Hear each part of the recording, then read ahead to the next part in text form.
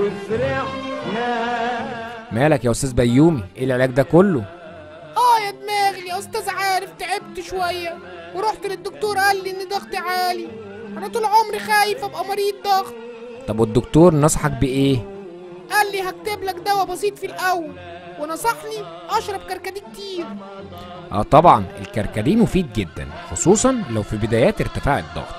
بس أنا طول عمري عارف إن الكركديه لو سخن يعلي الضغط. سخن بارد ما يفرقش. انقع الكركديه في مية سخنة. من 10 دقايق ل 30 دقيقة. واشربه. سخن أو بارد. هيوطي الضغط. هيوطي الضغط. طب أشرب منه قد إيه طيب؟ اشرب من مرة لثلاث مرات في اليوم. وفي خلال أسبوعين لست أسابيع الضغط يبدأ ينزل شوية. بس يا أستاذ بيومي بلاش تحط عليه سكر كتير. وما تنساش تاخد دواء الضغط. طبعا عارف. رمضانك أفضل وأنت عارف.